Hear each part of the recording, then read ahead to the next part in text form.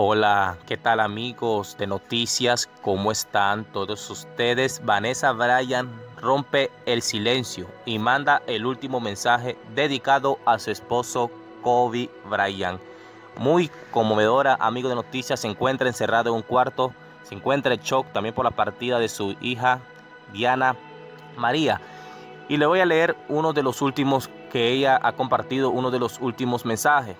Dice, aunque te hayas ido para siempre, no habrá nadie que pueda llenar el vacío que estás dejando dentro de mí.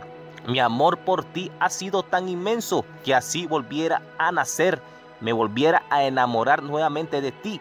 Te doy la gracia por haberme hecho feliz y espero que te hayas convertido en un ángel para que me protejas desde el cielo. Igualmente a mi hija Diana, que la amo mucho.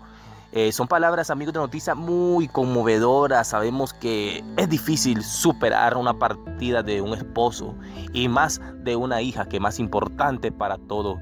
Y se sabe que ya hay, ya hay muchos mensajes que está compartiendo la esposa Vanessa Bryan, igualmente sus padres, igualmente sus suegros, todos con esta partida le han roto el corazón. Se sabe que también, amigos de noticias, Allá hay imágenes que compartieron Vanessa y también se puede ver a Diana disputando un partido de básquetbol en un claro ejemplo del talento que heredó de su padre.